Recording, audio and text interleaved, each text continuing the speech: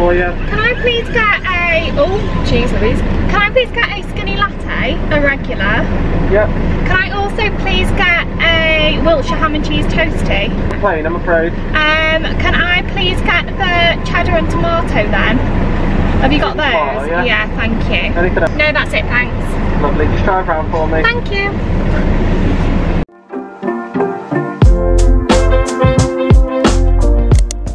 Hello you lovely lot, welcome back to my YouTube channel or if you're new here then welcome. So I'm pulled up with my Costa Toasty, honestly Costa Toasties are just the best. So just a quick explanation as to why I am doing this video which I don't actually think I've seen anybody do before. By the way I look so wrapped up, I've got like a really cute Zara bodysuit on but it's so freezing. I've got like my Zara scarf and this um, zip up hoodie. So basically I did the whole true or false thing on my story, cut a long story short, somebody that obviously knows that I have additional work to just influence in, which I don't really understand why they would say that because um, it's not anonymous or anything and they were a bit rude. Said something like, you hide your job.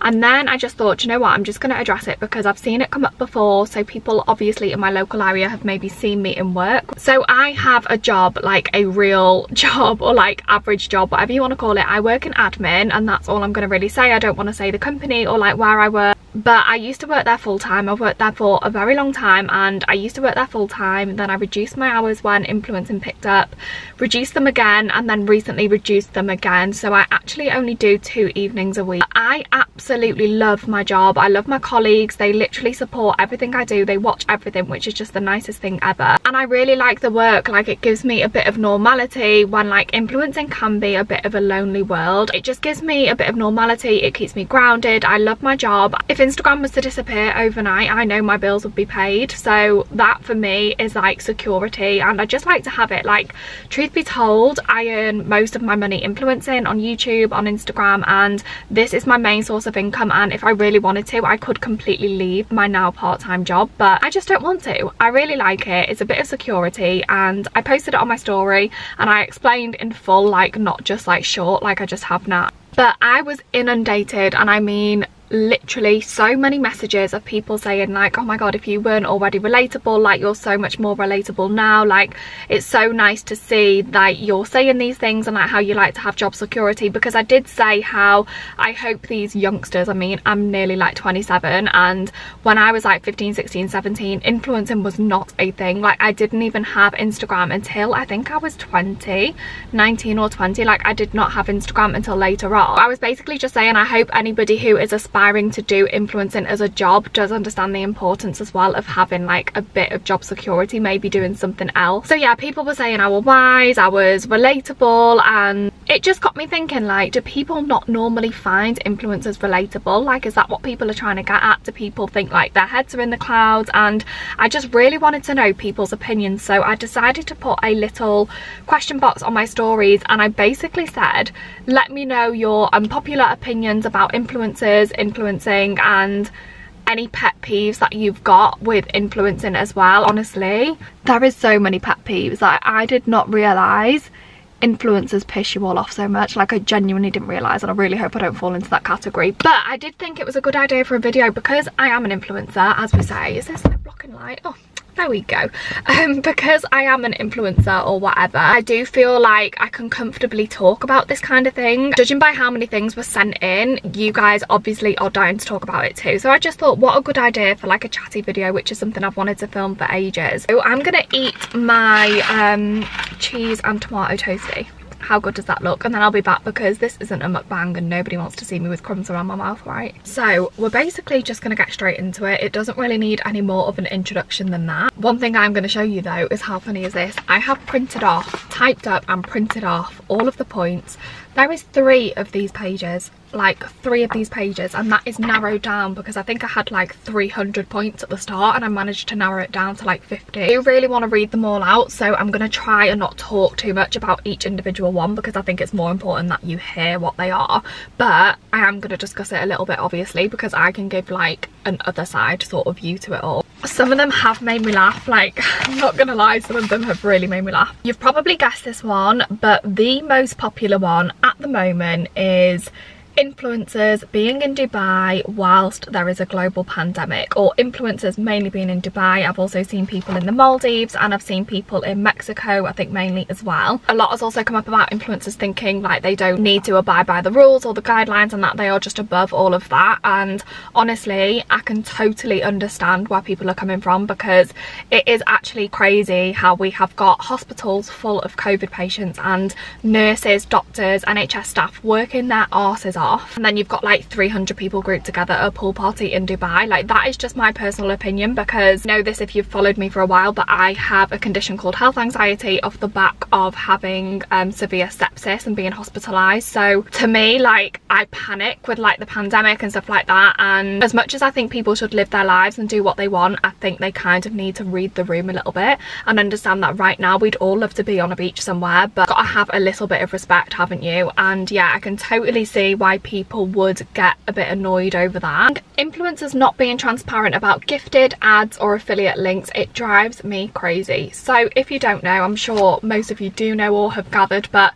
if something is an ad, if an influencer states that something is an ad, they are being paid for that post. They're not essentially being paid to say certain things, but they are being paid for the post. If somebody puts gifted, they have been gifted the items, there's no money involved, they've been given those items for free, but they aren't actually being paid on top of the gifting. And then affiliate applies to mainly like swipe up links like if you see people doing wish lists or ask somebody to link something on their stories. Nine times out of ten it will be an affiliate link where if you swipe up and buy it directly through that link that influencer will get a tiny bit of commission. And by tiny bit I literally mean like 80p is not a lot at all I must admit I am fucking crap at doing it and like this year I'm really trying to be better but I feel like I do it correctly but sometimes when I'm like talking about something like you know me I like to go on. So if it's a makeup product I talk about it for like more than just one story. I like to show you and there's a few stories so sometimes I only put it on like the first few and then by the time I get to the end of it like I've forgotten to put like ad or gifted or whatever like I just forget and I'm sure other influencers are the same. Okay next one and um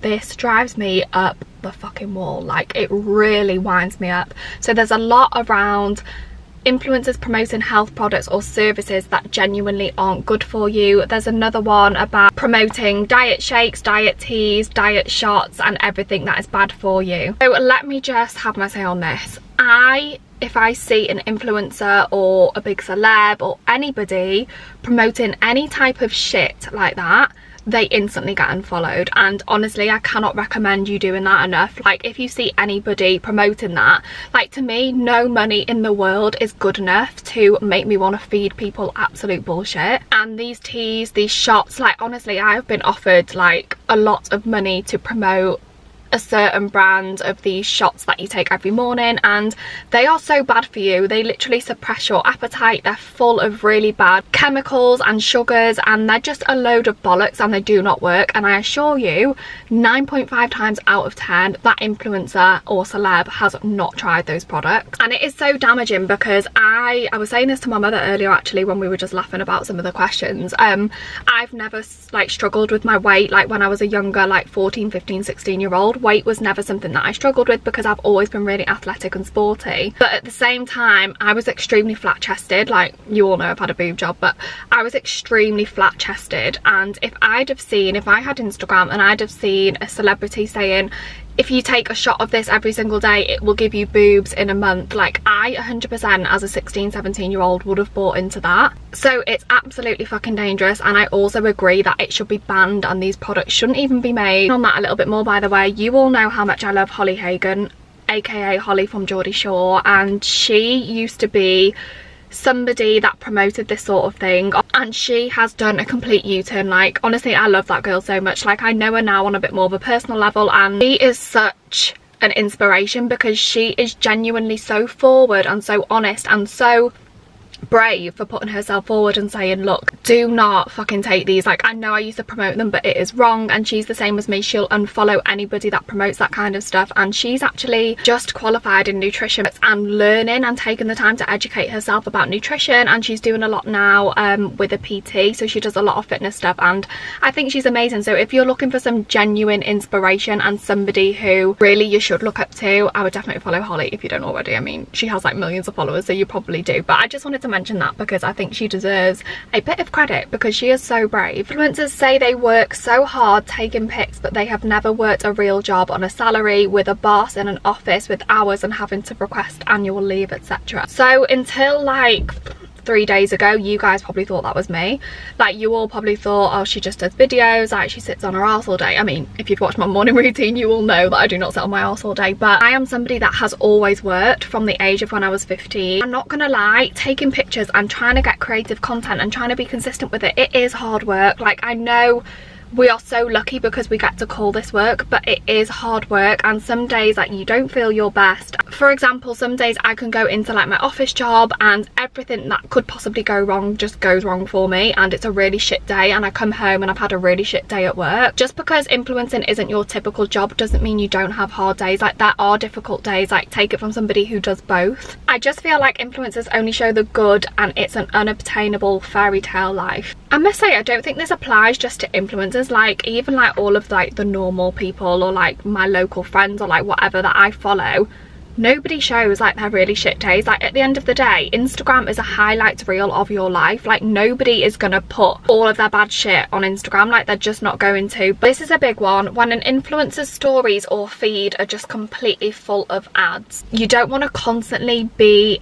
advertising something. Like i mean i don't know. Maybe you do as an influencer. I don't know. But for me I like to show like my real life on there like me and the dog me and James like and every sort of few posts maybe will be an ad or something but only stuff that I genuinely love. But yeah I feel like because the money can be really good it's probably quite easy to fall into that trap of just taking on all of this work. There's a lot around this as well. Wearing full designer and go to the most expensive places. You cannot influence people who cannot afford that. I think in life whenever we all get something new that we love be it clothes a car whatever we like to tell people and we like to show people and we like to take pride in how hard we've worked for these things. And I do follow like the odd influencer who maybe excessively share their designer things but all you have to do is just press the unfollow button. Like if you feel like you cannot afford that and that kind of gives you negative vibes just literally unfollow people. Like it's so easy to do. And honestly like i'm an influencer or whatever you want to say but I couldn't afford to buy like a new Fendi bag every week like absolutely not. Yeah I hope you don't feel like all influencers are like that. Some influencers come across overly self-proud. Now it's a job where you have to be confident. Like you've got to be confident and comfortable in yourself. Like I feel like people would maybe think that about me. Like I don't know maybe you guys can tell me but I do feel like maybe people would think that about me. Self-proud maybe overconfident but i'm just a really open book. Like i will talk to anyone about anything and i hope i don't come across that way but you do have to be confident and I do kind of get what you mean like some people can maybe be a little bit too far that way but I guess they just ooze confidence and there's a lot of people like that who aren't influencers that I know as well like there's a lot of people who are maybe a bit full of themselves that aren't influencers I think you just get certain people like that. When you see an influencer lose their authenticity and turn into perfect robots I agree with this one I think just literally no matter how many followers you gain just stay true to yourself. Like I know people follow me for makeup because that was literally how it all started for me. Like I had 300 followers and I used to do tutorials on my stories. Like if you've been here that long then you're an OG and then I started sharing a bit more my tomboy style and and yeah I think if you just fall into just agreeing to everything a bit too much you do lose your authenticity. And I think it's so important because that's the reason why people are following you in the first place. Buying into something an influencer recommends and when it arrives it's absolutely awful. We are wasting our hard-earned money. I genuinely trust your opinion so much because whatever you rave about I am always genuinely so happy with. Thank you so much for being so great. Can I just say so many of you are putting like little disclaimers after what you've said as though you're not aiming it at me and I just want you to know like no offense is being taken here whatsoever. Like this is just an open conversation that I really wanted to have. So this is another one that grates on me quite a lot i'm not gonna lie because i am like a makeup artist by trade. So i try products i mean my skin as well you all know how much i love my skincare. I try and test things so much before i would even recommend them to my mother or my friends. So one thing i'm not gonna do is put it all over my story if i've not tried and tested it for you guys to go and buy. And if it is something brand new and I decide to show you before I've used it, if I think it's crap afterwards, I will literally come and tell you, like, you know that, but I do feel like in order just to get paid, maybe influencers would say something is good. A single product isn't for everybody. Like I'm sure there's something I've recommended that hundreds of you love that maybe one of you hasn't liked so much. And I really feel like you've got to believe in the products that like you're trying to push. Like not even trying to push, like for me, I don't even try to sell things like all that hard. Like I just want to genuinely put out good recommendations for you. Okay, they're getting quite juicy now. So when influencers promote plastic surgery or fillers etc to people. Now you guys know I've had my boobs done and you guys have also seen me fill my face with a load of shit over the years a load of fillers and then you guys have also seen me get those fillers completely dissolved and go back natural which is exactly how my face my lips and everything is now. Now it's a really hard one because actually i think there's another question or another thingy here that says there's another thing here that says influencers not being honest about work that they've had done. So it's kind of a lose-lose situation. Like you get something done you tell people because people are asking and then you've also got people saying like you're not telling people because you're not being honest. So it is a really difficult one to touch on. Like for me and my experience I got my boobs done before I had Instagram. And I just think it's great if you're open and honest about having work done because obviously it's not natural. And I feel like otherwise it would be maybe putting an unrealistic thing in people's heads. Like if I literally when I got my nose job if I literally one day had my old nose and then the next day had this nose and I didn't say anything about it I mean you literally couldn't miss it because I had two black eyes. But if I literally just came on Instagram and I looked different and then I was like no I've not had anything done to my face I could never be that person. Like I genuinely couldn't because I just think it's so important to be open and honest and that's why I love vlogging these things as well. But yeah it's quite a fine line like you can either like promote it so much where you're almost convincing people to do it which I've never tried to do because I've paid for literally every single thing that I've had done. With my own money I've gone to consultants that I've researched for so long but I know that you do get like higher up celebrities who will go abroad and have surgery and they've obviously had it for free and then they've promoted it off the back of that. I do think that's wrong because it's a health choice at the end of the day and there is massive risks as there are with every single other surgery. So I do agree that they shouldn't hide it and they should be honest. Obviously if they want to, like that is completely up to them, like it is their body at the end of the day. But also I think promoting it is completely wrong. Like if I've ever spoke about my surgeries, which I have, it's because people have asked me for advice and asked me to share my experience. But I will always include little disclaimers saying like I paid for it in full and also I'm just sharing it with you just to document my experience. I'm not in any way trying to say you need your doing, you need your nose doing, you need your lips filling, then you need them dissolving again. Like that is not what I try and do. But yeah, that's a bit of a touchy subject really because I'm someone that has had probably quite a lot of work done in comparison to other people. It's all been for completely personal choices and not because somebody's offered it me for free, if that makes sense. Really editing photos and giving unrealistic views of life and women's bodies. Guys,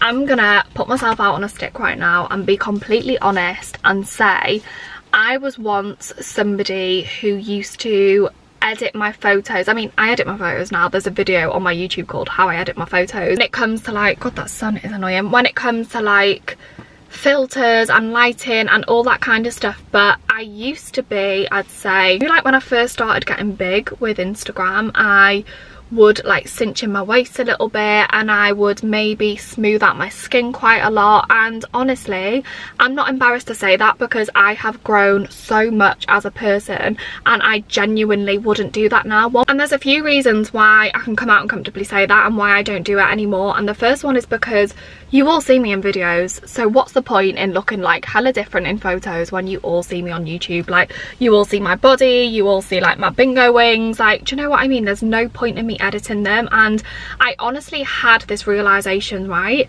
when I was staying with my mother she lives in Cardiff and she saw me doing it. She caught me doing it over my shoulder and she was like just walking past me and she was so upset like she was so upset and I felt like I'd really let her down and I'd really disappointed her because my family have always celebrated women and being beautiful and how they are and yeah I feel like I'd really let my mother down. So that's kind of where it stopped. Like I only did it for a short period of time because of pressure and maybe other people doing it. When I used to smooth out my skin my freckles would go and like my freckles make me who I am. Like my freckles are literally my identity. Like I feel like if people were to think of me off the top of their heads it's probably one of the first things that they'd think of. So yeah it was time to stop with all of that shit. Like I genuinely was damaging my own mental health. But we should all just be so happy and confident in our own bodies. And like, I'm not gonna lie, I haven't been recently, but I'm on a little transformation right now, as you all know, and I'm working really, really hard to feel my best. Like it's all about how I feel. And even when I haven't felt my best over the last couple of months, I still wouldn't have stooped that low again as to edit my photos because edit my body, like I feel like I'm saying I completely put them at filter free because I don't, because I like my feet to like all match. But I wouldn't stoop so low as to edit my body anymore. Like I genuinely wouldn't do that because because I know I have like a lot of the younger generation following me and I just don't want to give off that vibe. Like you are all fucking perfect as you are, like trust me. Okay, next one. It's a juicy one and I'm gonna get right involved with this. Oh, she's got a Costa over there. Cheers, babe. So this one says, drum roll please, influencers charging money well it's just a pound sign but she obviously means money. For their gym and or nutrition plans when they are not qualified PTs hang on. Hang on a sec. Say it louder for the people in the back. Whoever said that please comment below because you are a babe. Thank you so much for bringing that up. It is worse for me than the whole Boombod shakes diet teas like this is worse. Like anybody who is not qualified to give that fucking advice, don't give it. Don't charge people for advice that you are not qualified to give.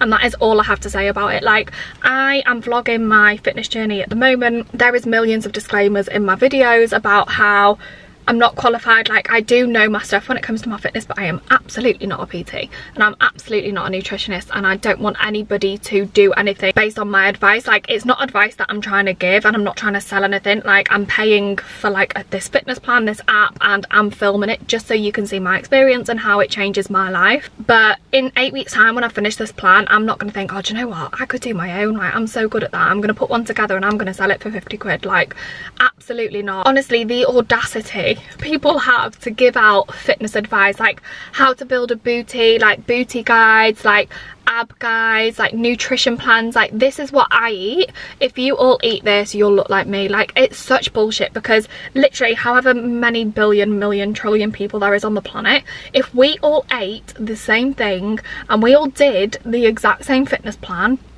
not one of us would look the same so it is just bullshit. Like we are all different. And yeah people who are unqualified absolutely have no right to be selling that sort of stuff. And it winds me right up.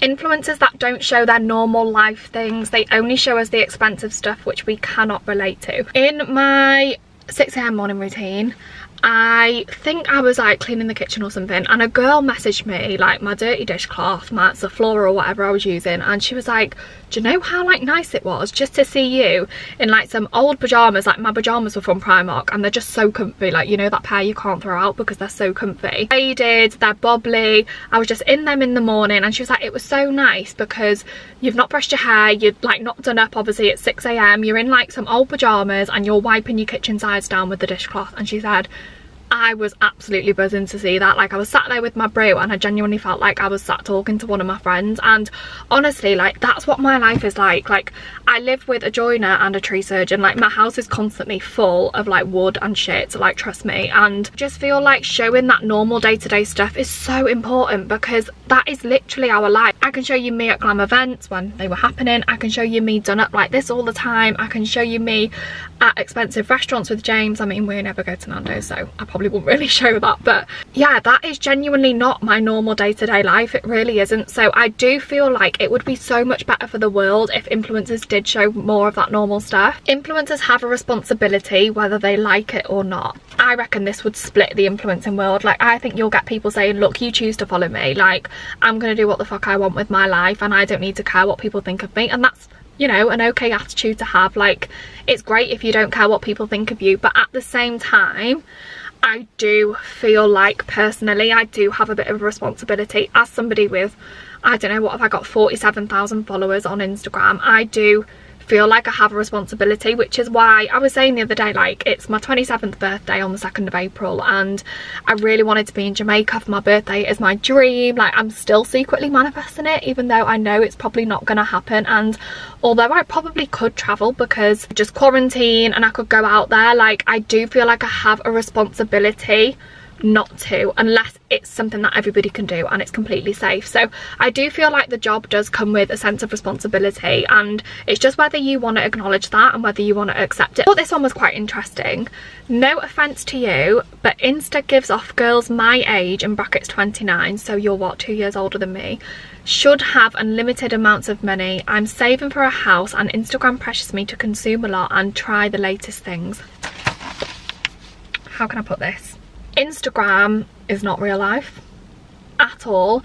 And if somebody's buying a Dior bag every other day that does not mean that you should also have the means to do that. Like I promise you please do not feel like that the worst thing we can do is compare ourselves. I feel like what's worse than comparing the way you look is comparing where you're at in life with somebody else. Like honestly that is genuinely not what you should do. Whether that comes to money relationship and age. I kind of feel you because I'm nearly 27 so we're not that much different in age. But there are influencers who are literally 18, 19, 20 who have got like a nicer car than me and have got more designer stuff than me. And yeah I get that. But stay in your own lane. Like I love car. Like I literally love it so much. Um I drive a Fiat 500X for anybody that doesn't know. So glad it's a four-wheel drive. It's like the bigger 4x4 version um, because the fucking snow.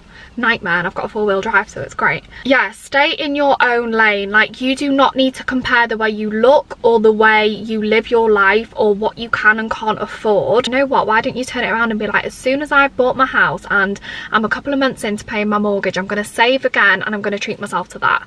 Just kind of flip it on its head. Treat it as like a little reward for when you've got your house. But please, if anybody is watching this that feels the constant need to keep up with having big purchases just don't.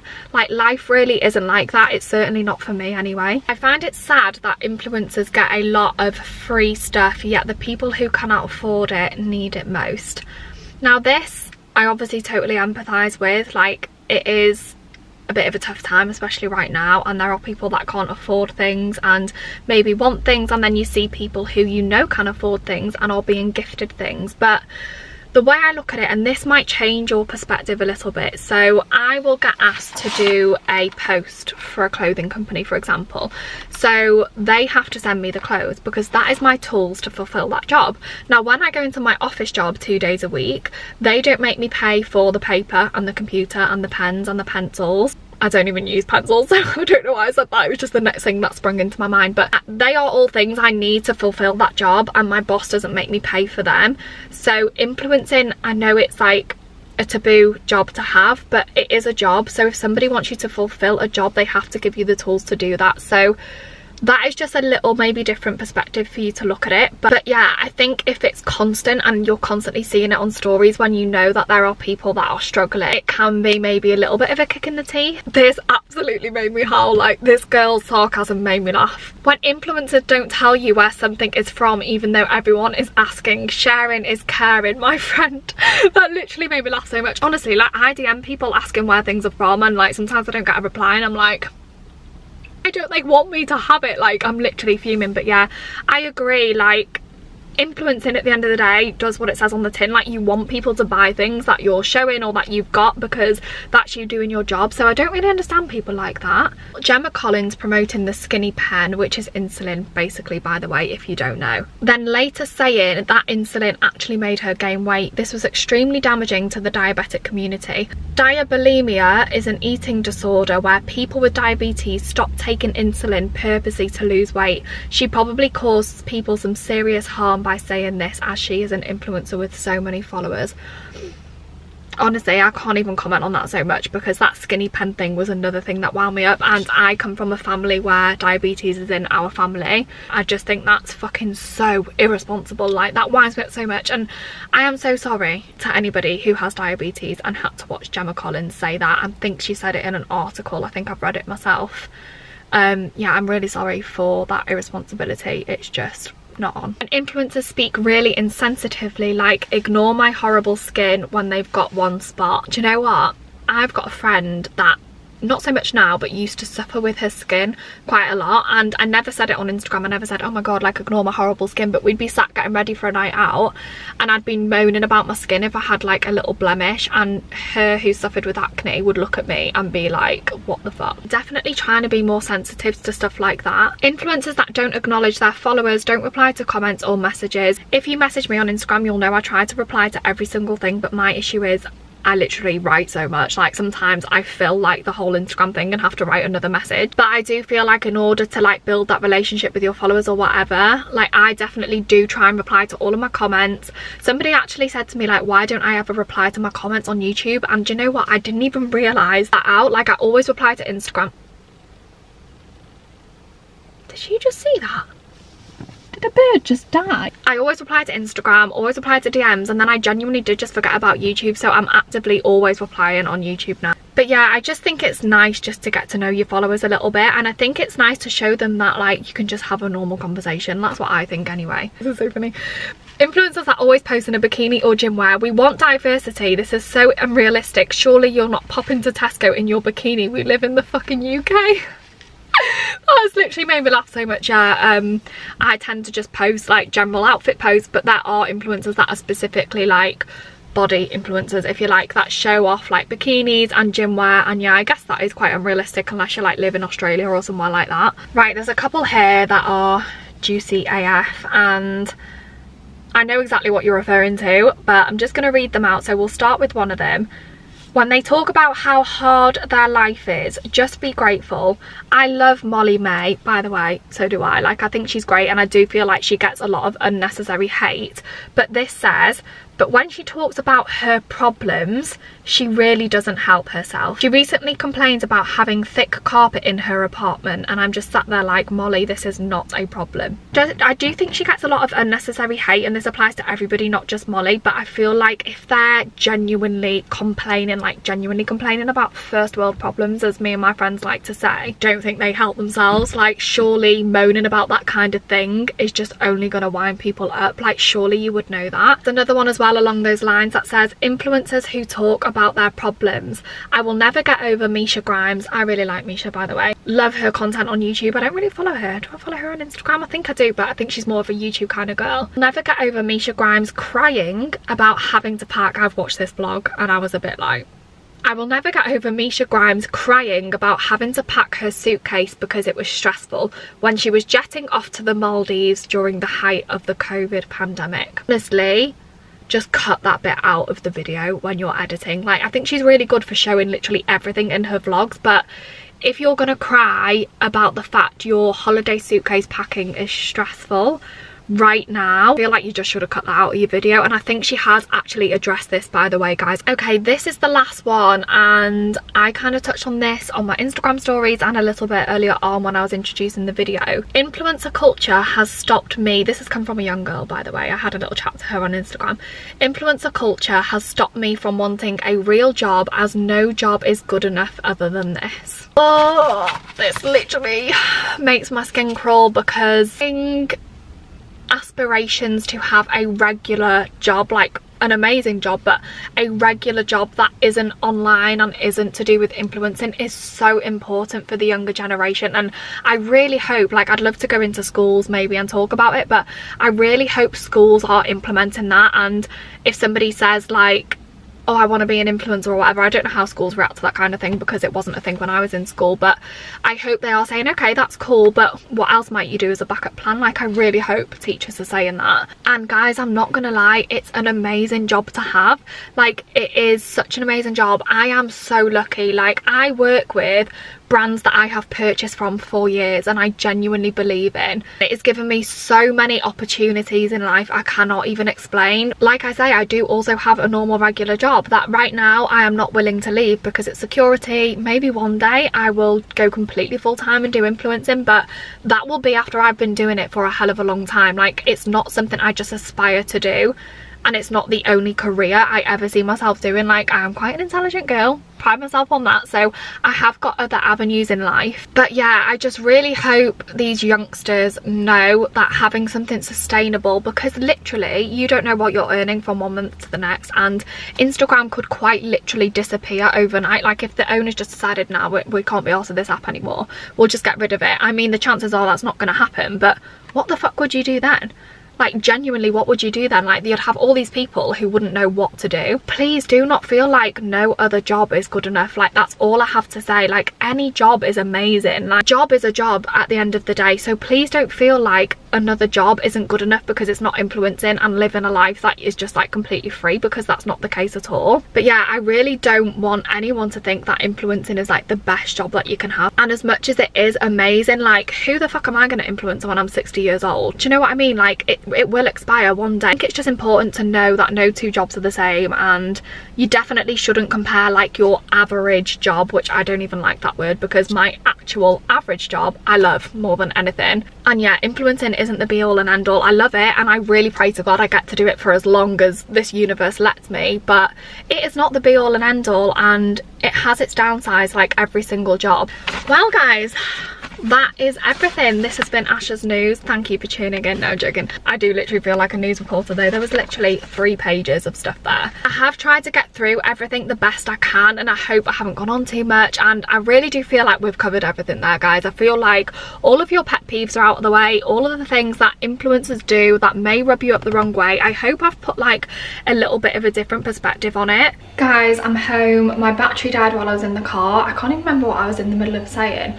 Um oh yeah I wanted to say um, that as long as I'm lucky enough to do this as a job like however long that is I will always like be myself. Like I don't know any other way to be. And yeah I just want to be a positive influence. I just want to say before I go that I hope you have enjoyed this video if enjoyable is even the right word hope it's been informative and I hope it's found some common ground between like the influencing world and the non-influencing world. I hope it's made you understand that like influencers are genuinely just normal people. Like I hope you all think that about me and yeah if you think their life is in any way shape or form of more value than yours just because of what they do for a job then you're so wrong. Anyway I've got to go because um, James's bacon is probably burning right now. I will pop a link to my Instagram down below of course as always so please do come and follow me on there in the meantime but otherwise I will see you all in Wednesday's video. Bye!